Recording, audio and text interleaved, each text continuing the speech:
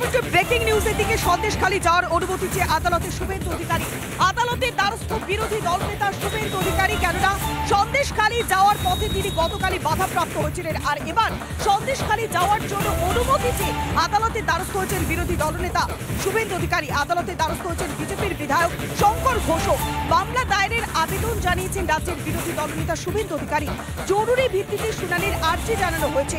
আজ দুপুরে শুনানির সম্ভাবনা রয়েছে। পনেরোই ফেব্রুয়ারি সন্দেশখালী যেতে চাইছেন রাজ্যের বিরোধী দলনেতা শুভেন্দু অধিকারী। গতকাল সন্দেশখালী যখন যাচ্ছিলেন বাসে করে, সমস্ত বিরোধী বিধায়কদেরকে নিয়ে ঠিক তখনই তাদেরকে বাধা দেওয়া হয়েছিল। একশো চুয়াল্লিশ ধারা জারি রয়েছে এই অচিরায় অনেক দূরে তাদেরকে বাধা দেওয়া হয়েছিল। বাসন্তী হাইওয়ের কাছে আটকে দেওয়া হয়েছিল বিজেপি বিধায়কদের বাস। তাই নির্ধারিত দিন আগামী যে পনেরোই ফেব্রুয়ারি, সেই পনেরোই ফেব্রুয়ারি তারা সন্দেশখালী যেতে চান, সেই কারণে আদালতের দ্বারস্থ হয়েছেন রাজ্যের বিরোধী দলনেতা শুভেন্দু অধিকারীর সঙ্গে রয়েছেন শঙ্কর ঘোষ। মামলা দায়েরের আবেদন জানানো হয়েছে এবং একই সঙ্গে জরুরি ভিত্তিতে শুনানির আর্জিও জানানো হয়েছে। আজ দুপুরে শুনানির সম্ভাবনা রয়েছে। সন্দেশখালী যাওয়ার অনুমতি চেয়ে আদালতের দ্বারস্থ রাজ্যের বিরোধী দলনেতা শুভেন্দু অধিকারী এবং একই সঙ্গে বিজেপির বিধায়ক শঙ্কর ঘোষ। মামলা দায়েরের আবেদন জানানো হয়েছে শুভেন্দু অধিকারীর পক্ষ থেকে। আমরা আরও বিস্তারিত জানব। সরাসরি রয়েছে আমাদের প্রতিনিধি প্রিয়াঙ্কা। প্রিয়াঙ্কা, পনেরোই ফেব্রুয়ারি নির্ধারিত দিনে সন্দেশখালী যেতে চাইছেন তারা। আদালতের দৃষ্টি আকর্ষণ করার চেষ্টা করছেন বিরোধী দলনেতা। আর কি কি আপডেট রয়েছে প্রিয়াঙ্কা? একেবারে পৌলমে দেখো, ইতিমধ্যে যে উঠে আসছে পনেরোই ফেব্রুয়ারি সন্দেশখালী যাওয়ার অনুমতিতে আদালতের দ্বারস্থ বিরোধী দলনেতা এবং শঙ্কর ঘোষ। বিচারপতি জয় সেনগুপ্তের এজলাসের দৃষ্টি আকর্ষণ, মামলা দায়ের করার আবেদন জানানো হয়েছে আইনজীবীর তরফ থেকে। আবেদন জানানো হয়েছে জরুরি ভিত্তিতে শুনানি। আইনজীবীর স্পষ্ট বক্তব্য, গতকাল সন্দেশখালী যাওয়ার পথে বাধা দেওয়া হয় বিজেপি বিধায়কদের, বাধা দেওয়া হয় পুলিশ, পুলিশের তরফ থেকে সায়েন্স সিটির সামনে। তাদের বাধা দেওয়া হয় এবং পুলিশি অতি সক্রিয়তার অভিযোগ রয়েছে। অভিযোগ করেছেন বিরোধী দলনেতা শুভেন্দু অধিকারী এবং শঙ্কর ঘোষ। মামলা দায়ের করার অনুমতি দিয়েছেন বিচারপতি জয় সেনগুপ্ত আজ দুপুরটায় রয়েছে মামলার শুনানির সম্ভাবনা। প্রসঙ্গত বলে রাখা প্রয়োজন পৌলমী। গতকালই আমরা দেখেছিলাম বিধানসভা থেকে বেরোনোর পর সায়েন্স সিটির মুখে বাসন্তী হাইওয়ের কাছে বিরোধী দলনেতা সহ যারা অন্যান্য বিধায়ক ছিলেন। তাদেরকে সন্দেশখালী যাওয়ার পথে বাধা দেওয়া হয়েছিল এবং তারপরেই আদালতে হয়েছেন বিজেপি বিধায়ক শঙ্কর ঘোষ এবং বিরোধী দলনেতা শুভেন্দু অধিকারী। পৌলমী।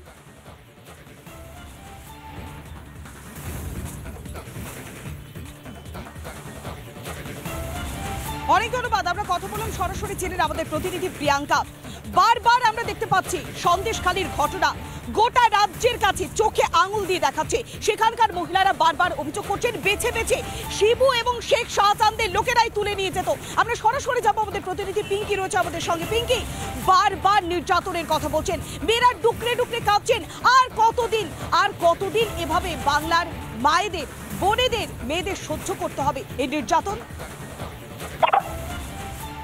মূলত গ্রামবাসীদের তার বিরুদ্ধে অভিযোগ ছিল।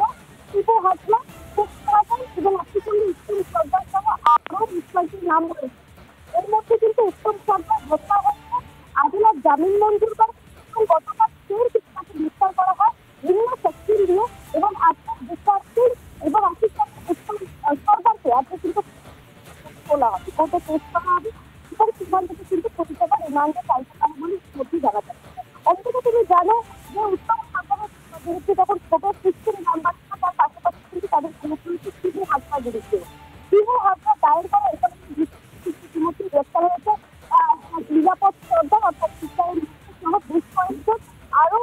এই বা পুরুষ এমনটাই জানাচ্ছেন তারা। হিসেবে নাম রয়েছে শিশু হাজার। এবং তিনি শিশু হাজার এখনও পর্যন্ত নিখোঁজ। পুলিশের কাছে এখন অভিযোগ জমা দিয়েছেন। গতকাল গতকাল রাজ্যপাল সিভি আনন্দ বোস তিনি গিয়েছিলেন সন্দেশখালীতে, তাকে দেখে পুষ্প বৃষ্টি উলুধ্বনি দিয়েছিলেন মহিলারা এবং রাখিও পরিয়েছিলেন। রাজ্যপাল সিভি আনন্দ বোসের সন্দেশখালী যাওয়া প্রসঙ্গে কি বলছেন বিজেপির সাংসদ দিলীপ ঘোষ? শুনুন। মাননীয় রাজ্যপালকে ধন্যবাদ যে তিনি তার ক্ষমতাকে প্রয়োগ করে সেখানে পৌঁছে সাধারণ মানুষের কাছে দাঁড়িয়েছেন। মানুষ হাহাকার করছে, বেসাহারা, তার হয়ে কথা বলার কেউ নেই, তাদের সামনে দাঁড়াবার কেউ নেই। আমরা গেলে আমাদের আটকে দেওয়া হচ্ছে। রাজ্যপাল সেই জায়গাটায় গেছেন, মানুষ তার উপরে বিশ্বাস করে। আমি আশা করব যে সাংবিধানিক ব্যবস্থার মধ্যেই এর প্রতিকারের ব্যবস্থা যেন হয়। বারবার পশ্চিমবাংলায় একই চিত্র দেখি। বিধানসভা ভোটের পরে, পঞ্চায়েত ভোটের সময়, এর আগের রাজ্যপাল গিয়েছিলেন কুচবিহারের বিভিন্ন জায়গায়, এ রাজ্যপালও গিয়েছিলেন ভাঙড়েতে। আমরা দেখেছি সাধারণ মানুষ কীরকম হাহাকার করেছে। একইভাবে অত্যাচারিত মহিলারা তার পায়ে ধরে কান্নাকাটি করেছে বাঁচান। কিন্তু কোনো পরিস্থিতির পরিবর্তন হয়নি। কারণ সরকারে যারা আছে, তারাই এই ঘটনাগুলো ঘটাচ্ছে। যে দুষ্টুতকারীরা ঘটাচ্ছে, ওখানে তারা সরকারের ছাতার তলায় আছে, তাদেরকে পুলিশ প্রোটেকশন দিচ্ছে। দেওয়া উচিত অত্যাচারিত যারা, তাদের পক্ষে পুলিশে দাঁড়ানো উচিত। তারা অত্যাচারীর পক্ষে দাঁড়াচ্ছে। যেন মমতা ব্যানার্জি এই যে কংসের রাজত্ব তৈরি করেছেন, এর অবসান হবে, আর মমতা ব্যানার্জির রাজনৈতিক জীবনে অন্ধকার নেমে আসবে।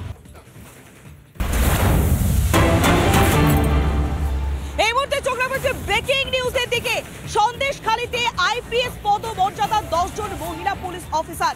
একদিকে যেমন ডিআইজি এবং একই সঙ্গে আইপিএস লেভেলে তারা তারা দশজন একসঙ্গে পৌঁছে গিয়েছেন কোথায় না সন্দেশখালীতে। আইপিএস র্যাঙ্ক এবং ডিআইজি লেভেলের পদস্থ মহিলা পুলিশ অফিসারদের দশজনের একটি টিম পৌঁছে গিয়েছে সন্দেশখালীতে। সন্দেশখালীর বিভিন্ন এলাকায় গিয়ে মহিলাদের সঙ্গে কথা বলবেন, তাদের সমস্যার কথা শুনবেন তারা। ইতিমধ্যেই তারা ধামাখালি থেকে নৌকোয় করে সন্দেশখালীতে পৌঁছেছেন, তারা ইতিমধ্যেই থানায় ঢুকলেন। সন্দেশখালীতে দশ জনের মহিলা পুরুষের একটি দল। দলে রয়েছেন আইপিএস পদমর্যাদার অফিসার। বসিরহাটের এসপি অফিস এবং একই সঙ্গে বিভিন্ন জায়গা তারা পরিদর্শন করবেন। সেখানে যে মহিলারা রয়েছেন, তাদের সঙ্গে কথা বলবেন তারা। আইপিএস র্যাঙ্ক এবং ডিআইজি লেভেলের পদস্থ এক মহিলা পুলিশ অফিসার সহ দশ জনের একটি মহিলা পুলিশের টিম সন্দেশখালীতে ইতিমধ্যেই পৌঁছে গিয়েছে। তারা সেখানকার মহিলাদের সঙ্গে কথা বলবেন, কেননা দীর্ঘদিন ধরে অভিযোগ উঠে আসছে সন্দেশখালীতে। মহিলাদের যেভাবে নির্যাতনের ঘটনা, নিগ্রহের ঘটনা, যেভাবে মহিলাদের সম্মান নিয়ে ছিনিমিনি খেলা হচ্ছে, বারবার বিরোধীরা অভিযোগ করছে। এই রাজ্যের বুকে আদৌ কি আইন রয়েছে? আদৌ কি পুলিশ প্রশাসন কোনো ব্যবস্থা নিচ্ছে? তাই এবার দশ জন মহিলা সদস্যরা, অর্থাৎ দশজন পুলিশ অফিসারের একটি বিশেষ টিম সন্দেশকালীতে পৌঁছে গিয়েছে। তারা সেখানকার মহিলাদের সঙ্গে কথা বলবেন এবং কোন কোন জায়গায় তাদের সমস্যা রয়েছে, কি কি ভাবে তারা দিনের পর দিন নির্যাতনের শিকার হচ্ছে, সেই সমস্ত বিষয়, পরিস্থিতি তারা খতিয়ে দেখবেন। আইপিএস র্যাঙ্ক এবং ডিআইটি লেভেলের পদস্থ এক মহিলা অফিসার সহ দশ জনের একটি মহিলা পুলিশের টিম ইতিমধ্যে সন্দেশখালীতে পৌঁছে গিয়েছে। তারা সন্দেশখালীর বিভিন্ন এলাকায় গিয়ে সেখানকার মানুষজনের সমস্যার কথা শুনবেন। ইতিমধ্যেই ধামাখালী থেকে নৌপতি করে সন্দেশখালী পৌঁছে গিয়েছেন তারা। থানায় তারা পৌঁছে গিয়েছেন। এরপরই বিভিন্ন এলাকায় যাবেন সেখানকার মহিলাদের সঙ্গে কথা বলবেন। পরিস্থিতি সরে জমিনে খতিয়ে দেখবার চেষ্টা করবেন তারা। সন্দেশখালীতে দশ জনের মহিলা পুরুষের একটি দল দলে আইপিএস এবং ডিআইজি লেভেলের অফিসাররা উপস্থিত রয়েছেন। তারা বিভিন্ন জায়গায় যাবেন, সন্দেশখালীর একাধিক এলাকা ঘুরে সেখানকার মহিলাদের সঙ্গে কথা বলবেন। যেভাবে শিবু এবং একই সঙ্গে শেখ শাহজাহান, এদের ওপরে অভিযোগের আঙুল বারবার উঠেছে। পুলিশ প্রশাসনের ভূমিকা নিয়ে প্রশ্ন উঠেছে, মেয়েরা নির্যাতনের শিকার হয়েছে। তাদের সঙ্গে কথা বলে পরিস্থিতি সরেজমিনে খতিয়ে দেখবার চেষ্টা করবেন। দশজনের মহিলা পুলিশের এই দল।